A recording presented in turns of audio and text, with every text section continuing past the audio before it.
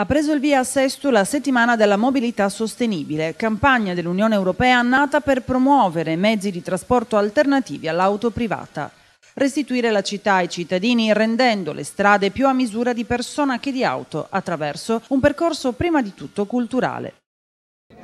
Sì, eh, noi oggi iniziamo un percorso, dobbiamo dire, un percorso che non è altro che l'attuazione di un'idea che abbiamo coltivato già da tempo, che è quella di modificare la mobilità a Sesto, sia per quanto riguarda i veicoli, perché è necessario data la struttura urbanistica che abbiamo, e sia per quanto riguarda le persone. Le persone devono avere, secondo il nostro parere, la priorità su, in termini di esigenze rispetto a tutti gli altri sistemi di mobilità e con questa idea noi vogliamo realizzare a Sesto i marciapiedi che ci mancano un po' in tutto il paese, le piste ciclabili per creare in tutti noi, ecco, in ciascuno di noi, quella cultura, quella mentalità di, non solo del rispetto dell'ambiente ma del rispetto di noi stessi. Nel dettaglio, piste ciclabili, zone 30 e campagne di sensibilizzazione verso una visione del traffico più sostenibile.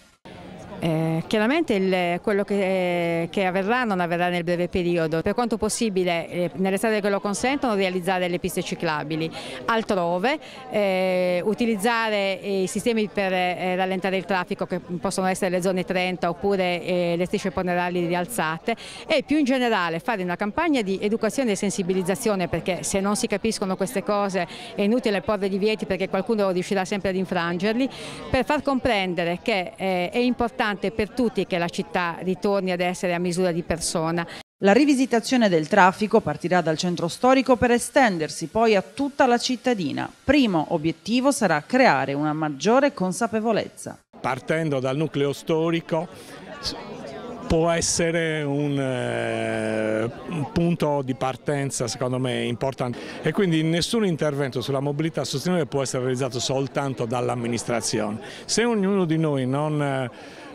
assume la consapevolezza che eh, per poter migliorare la propria qualità della vita e anche, eh, il proprio benessere fisico è quello di cambiare, utilizzare meno l'auto e utilizzare modi di trasporto sostenibili.